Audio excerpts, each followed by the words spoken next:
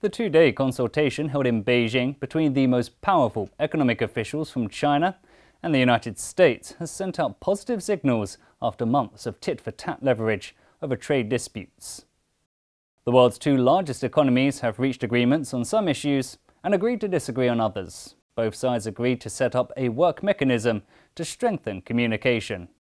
They agreed that a sound and stable China-US trade relationship is crucial for both sides and that they are committed to resolving relevant economic and trade issues through dialogue and consultation. In a much interconnected world, it is clear that the two economies are strongly complementary and highly codependent.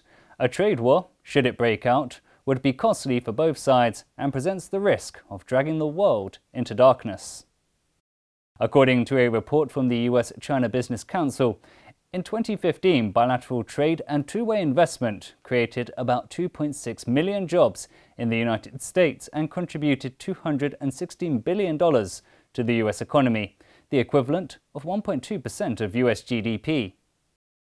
Song Guoyou, Deputy Director of Fudan University's Center for American Studies, said the consultation showed both sides are willing to address economic trade issues and narrow their disagreements through dialogue.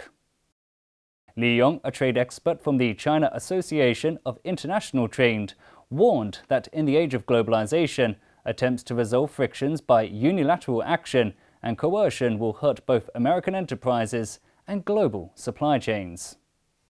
Li said that both sides need frank, rational, and pragmatic exchanges to seek common ground and put their disagreements aside, maximize their converging interests, and be responsible to the people and the world at large.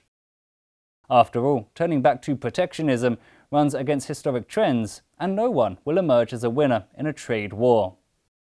The long-term stability of China-US economic trade relations, the ballast stone of bilateral ties, benefits both countries and the rest of the world.